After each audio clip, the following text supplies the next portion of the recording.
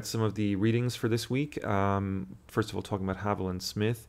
Um, uh, you know, I think what's really interesting about someone like Haviland Smith is the access and close proximity he would have had to um, uh, the preparations uh, for the war. He um, will understand as well as anyone else that um, there was very muddled arguments presented in 2002, 2003 in favor of the invasion of Iraq we know now retrospectively things that Haviland Smith himself hasn't even talked about in his piece. I can just uh, summarize some of them for you. Uh, we know, for example, from the British uh, controversies concerning the so called Downing Street memo, you can look it up online, and the official government report that was published this year in 2016, the Chilcot report. Um, uh, we know from both of these documents that Tony Blair and his government in Downing Street already were quite aware that the US security apparatus, that the uh, intelligence services, if you want to put it that way, um, knew full well there were no WMDs in Iraq. And they knew that before they ever went in. Um, but um, the uh, pretense, the external pretense, um, went ahead regardless um, that there were WMDs, and we had, you know, regardless of the fact that of the knowledge to the contrary, um, we had people like um, uh, Colin Powell uh, present in front of the United Nations.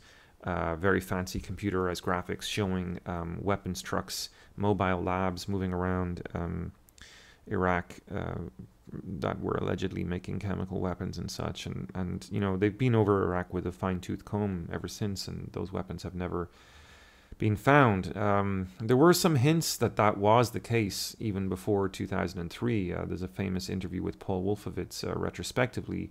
Uh, where he um, uh, concedes that the WMD argument was a pretext as he says, it was an argument that we used for bureaucratic reasons. Uh, this was in an interview that he did in Vanity Fair, which you can look up, um, where he argued, in effect, that the weapons of mass destruction had had never been the most compelling justification for invasion of Iraq.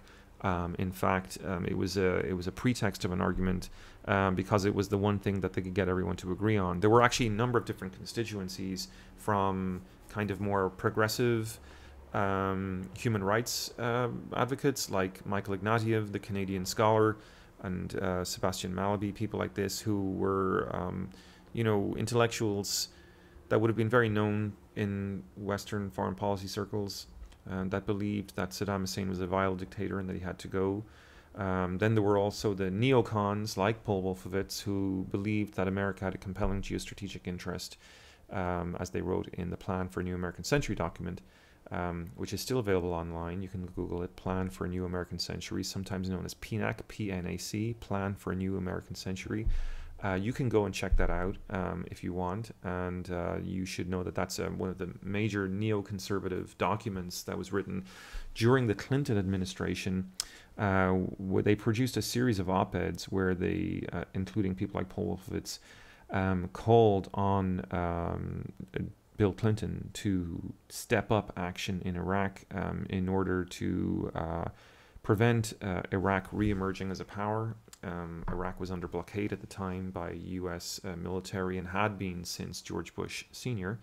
Uh, very, very uh, difficult uh, for many Iraqi people um, to survive that blockade. Um, but yeah, the PNAC document basically expressed a fear and a concern that um, an emergent China or India down the road would be able to ally with uh, with Iraq to create a kind of a counterforce to American unipolarity in the world in a post Cold War scenario. So, um, uh, uh, you, you know, you know, interesting. We just had the diversity of, of, of, reasons then to want to go into Iraq from sort of the more liberal mindset and the more conservative mindset.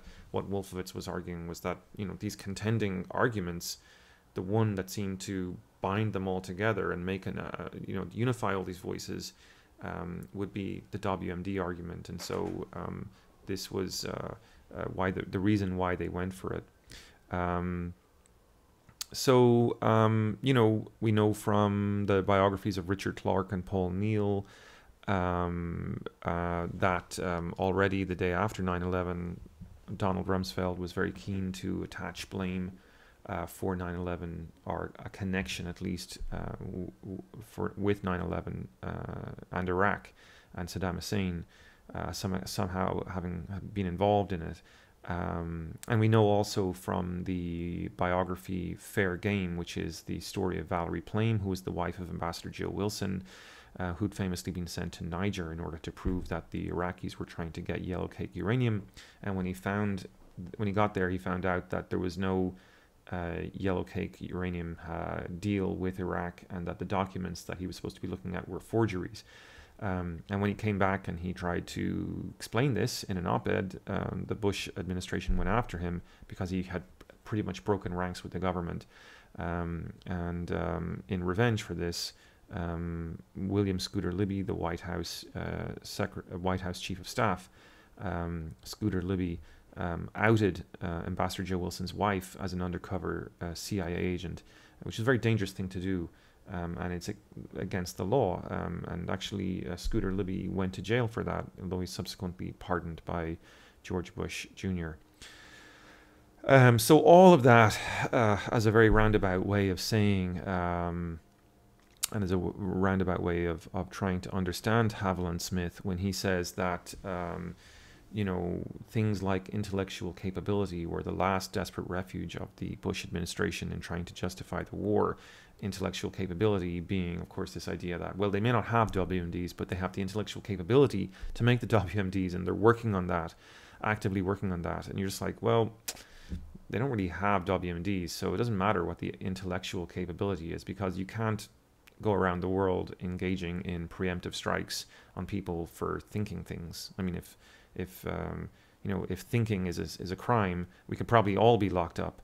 Um, uh, so um, in this sense, what Haviland Smith is saying, and I, I guess my own little um, uh, digression there uh, is is all really about this sort of idea that um, the invasion of Iraq was was an ideological decision, sort of, and I think that's Haviland Smith's conclusion, um, not really to do with anything to do with 9/11.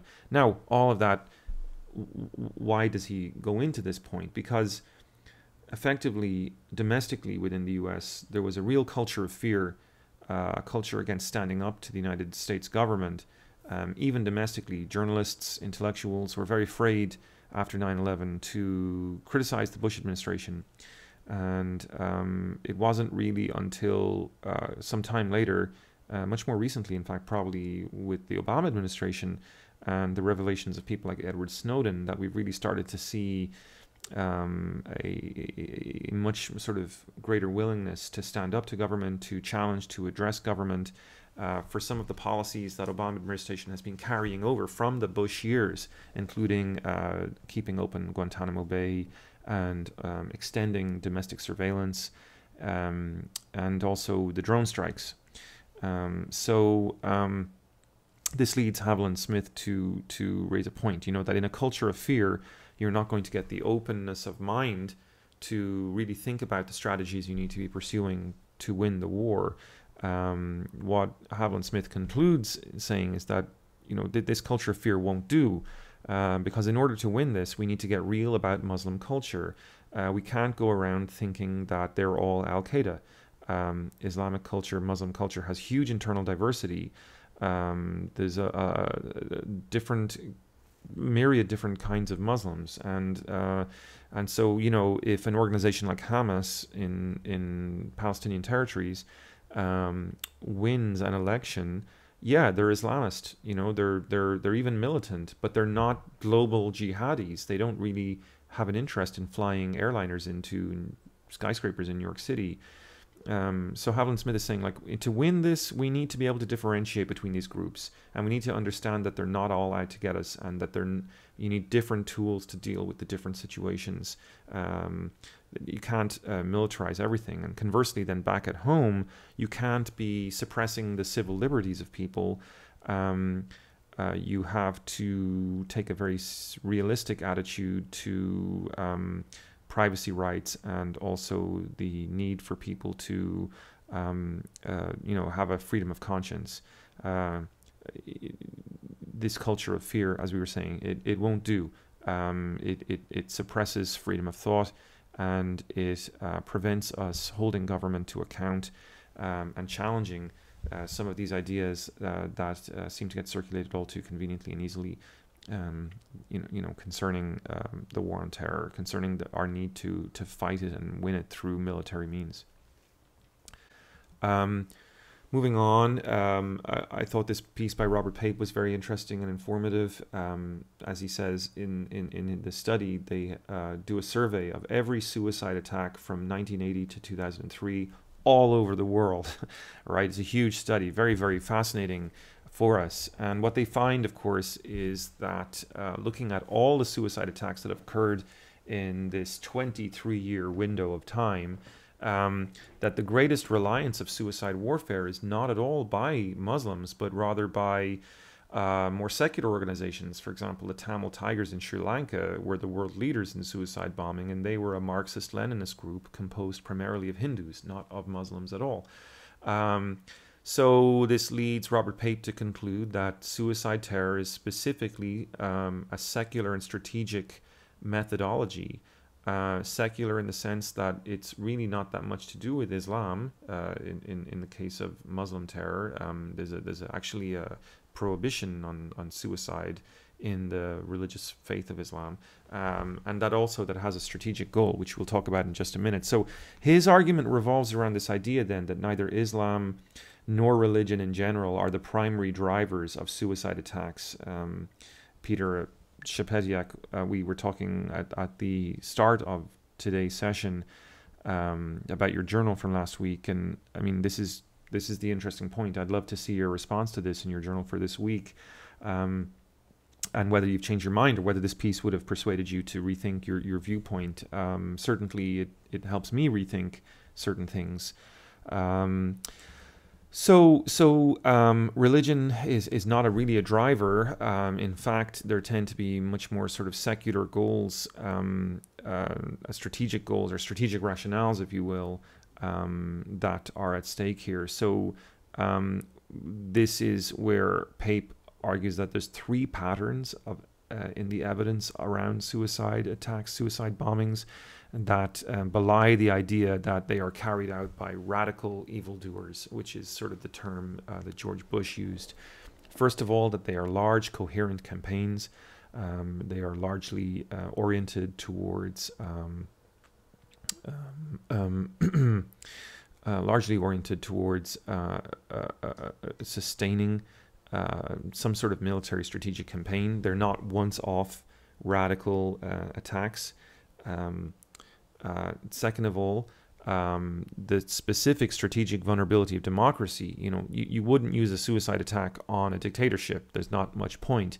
Um, there's something about democracies um, that make suicide attacks particularly um, um, sensational and effective um, methods. And that is, of course, because of the media, right? Uh, suicide bombing gets media attention and um, gets people in democracies to think maybe a little bit differently, perhaps gets them intimidated, makes them afraid. Uh, puts them on the back foot. So there's a there's a there's a fear a methodology of trying to instill a certain modicum of fear um, in this sense. That's specifically to do with democracies. Uh, so there's definitely a rationale to the method in that regards. It's not a blind, um, evil-doing type of terrorism in that sense as well. And then finally, most importantly, I would argue, uh, is the strategic objectives. Um, if you say someone's an evildoer, it just means that they're in interested in wanton destruction.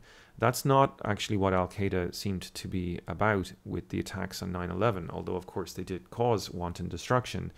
Um, but if you look at the history of Al Qaeda, and specifically bin Laden and his statements for up to a decade prior to the attacks of 9 11, uh, you see that he had been communicating through, through fax machines, through various forms of uh, publicity, um, several demands, including a withdrawal of foreign soldiers from the Holy Lands, which would be Saudi Arabia. There's a large U.S. military presence in Saudi Arabia. Um, so you know, if if he was just a, a blind, you know, irrational evildoer driven by his passions, uh, why was he expressing concrete strategic political objectives like that? Um, you know, so the terrorism that he was carrying out, uh, even up uh, to a decade beforehand, uh, various attacks on U.S. embassies around the world, that kind of thing. 9/11 was not the first time we'd heard of this guy. Um, all these um, um, sort of um, communications from him uh, definitely give us a sense that you know the man wasn't a, a, an irrational uh, person at all. He he had a very concrete goal, and um, and, and was pursuing that. So, with that in mind, uh, Robert Pape says, you know, we need kind of kind of like what our previous uh, commentator was saying. We need a new conception of victory. Uh, we need to start thinking about um, um, how to deal with um, suicide, terrorism, uh, how to deal with uh, the um, resentment that leads to suicide terrorism, um, how to deal with it um, in the sense of its, you know, on the level of its objectives, you know, uh, uh, talking with it, in other words, at the level of its objectives, um, not just saying you're not going to talk to them because they're evil, actually getting involved. Which leads us to our last uh, piece, which is Ali Gomas's piece. Very, very short piece. And so rather than speak about it per se, I'm just going to give you a little bit of the context that this piece evokes to me in terms of its debate. Um, so Ali Gomas is a, is a, is a, a, a well-known intellectual figure in the Middle East um, already, and his short little piece just talks about the various meanings of the word jihad. Of course, last week we talked about jihad as in terms of striving.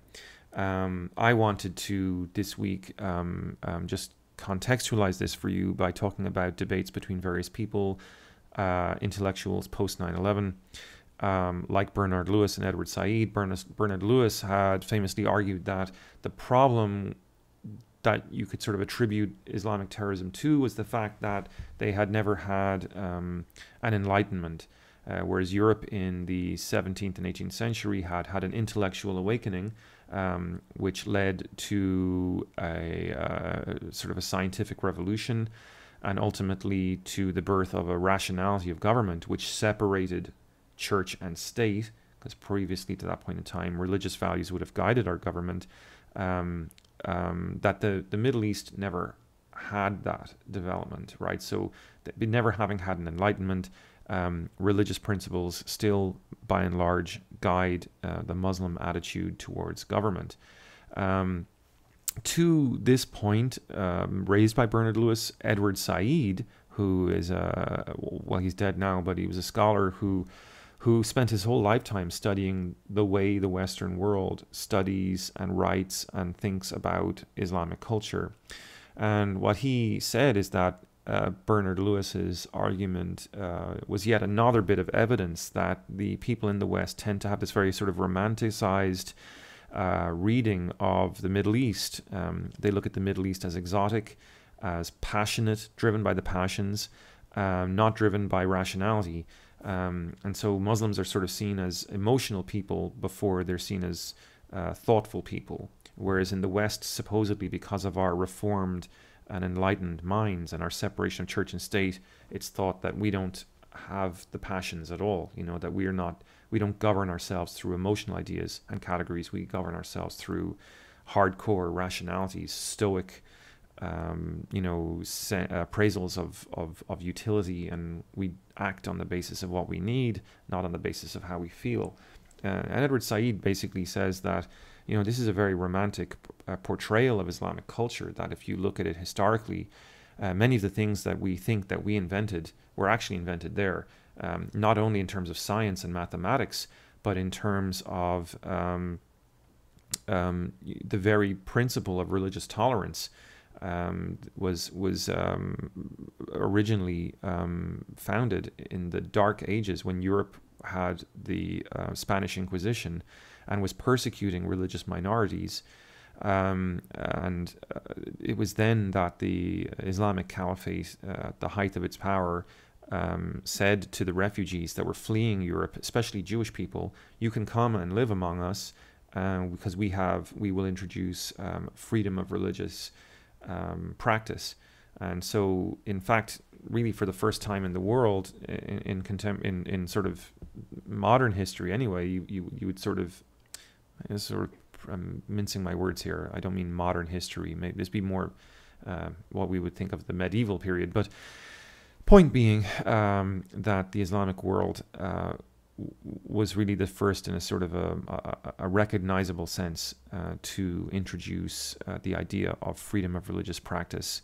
Um, and so, if you today go to Damascus or Baghdad, you'll see um, um, religious uh, buildings, uh, shrines, temples, where uh, Christians, Jews, Muslims worship side by side. Um, I remember when I was younger going to Damascus. We wouldn't go there today because of the war, but when I was there, I went to the um, uh, the Abbasid um, mosque and you know there were there were people from all different kinds of religions going there because of the various artifacts they have including i think the head or the heart i can't remember which of john the baptist um, and um, it was just really interesting to see the different religions side by side you know that, that we often sort of think of as enemies which um, then leads me to a subsequent point. Another person that weighed in on this controversy, um, even though his book uh, was written prior to 9 11, um, the thesis that it uh, uh, offered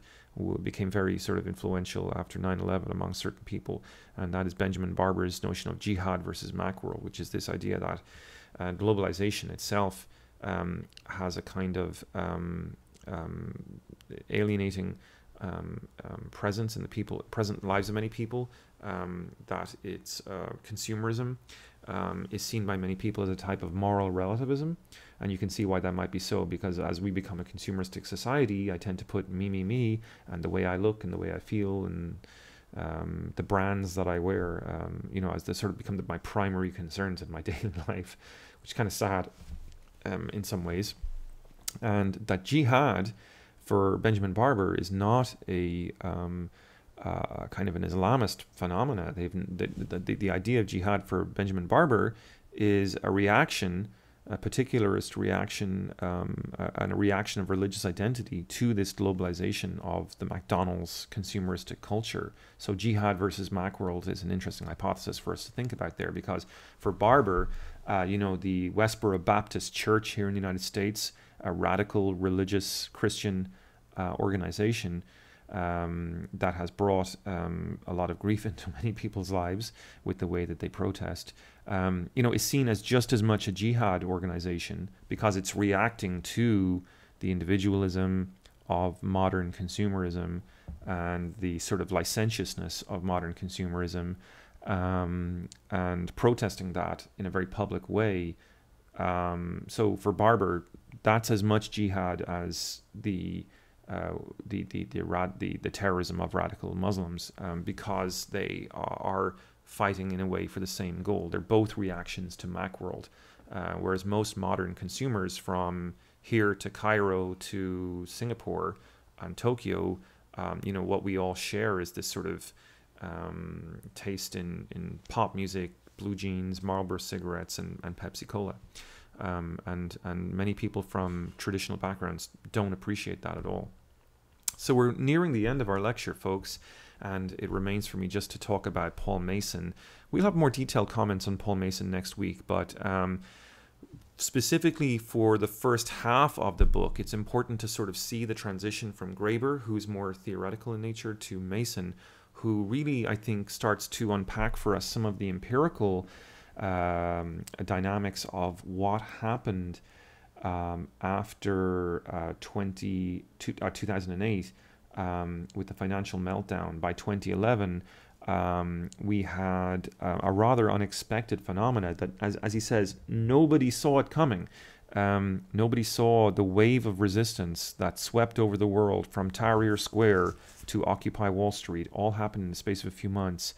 Um, and it resulted in major governmental change and transformation in the Middle East, in Egypt, in Tunisia, uh, arguably in Libya and in Syria as well, um, uh, in Greece, in Ireland, Spain, Portugal, Britain, and here in the US, as well as even in places like Hong Kong.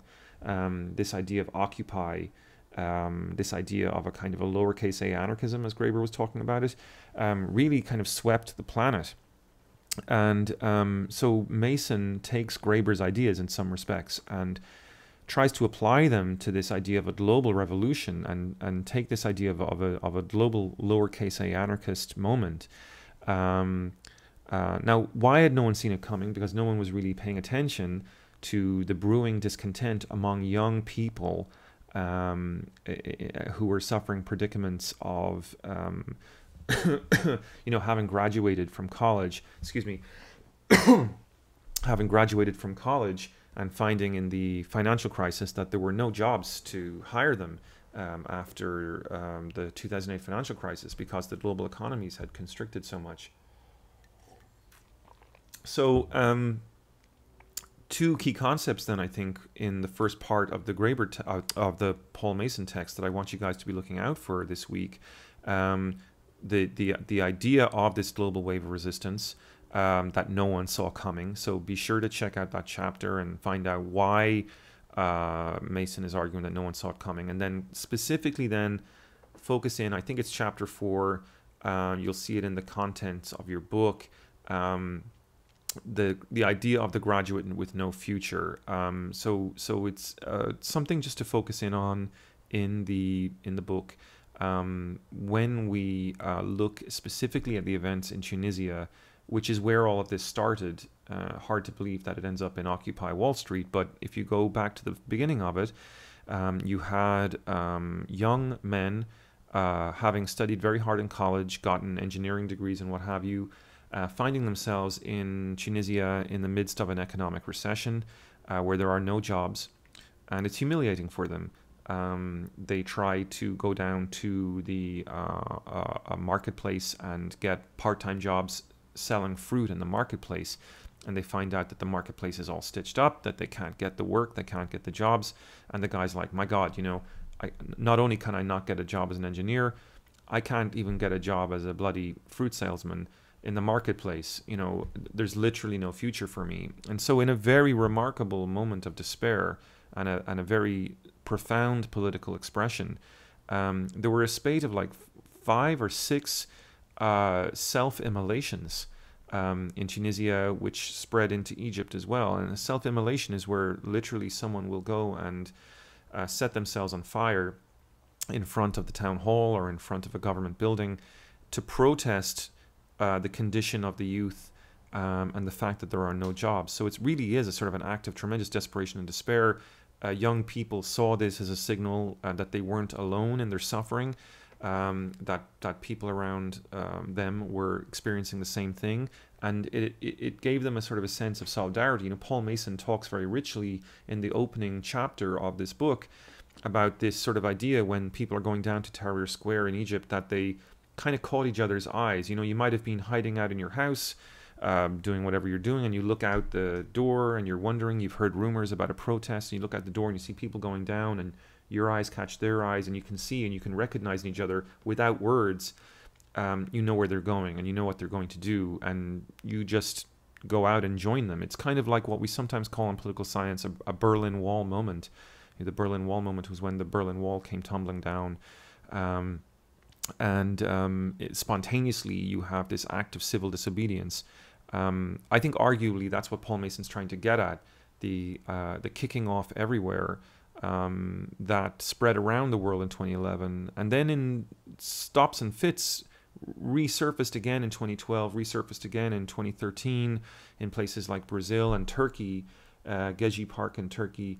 Um, you know, saw a very very similar uh, moment. So so I, arguably um, this type of protest uh, is not done yet. It's not over. Uh, we could still see it again. Uh, it's not clear. Um, we haven't seen too much of it the last year or two, but I, I think um, you know it, it, it's uh, that it, it, it's still with us. I think, and the energy and the memory of it is still with us. I think it was instrumental, for example, in defeating Mitt Romney in, uh, in the 2012 election. Um, uh, for various reasons. We can talk about them another time, but um, I, I, think uh, very clearly, and some of you called this out in your journals this week, it was instrumental in putting Bernie Sanders into a place where he was nominated um, for um, for um, almost he was in the running to be nominated for the Democratic Party's candidacy, using arguments that sounded very much like those of Occupy Wall Street. So that's it for uh, this week, guys. Again, sorry about the technological delays. Um, I wish there was something I could have done to stop it, um, but uh, hopefully you uh, are able to watch this okay, and um, I'll post your um, your um, checklist um, with this video, and uh, we will see you again soon. Thank you.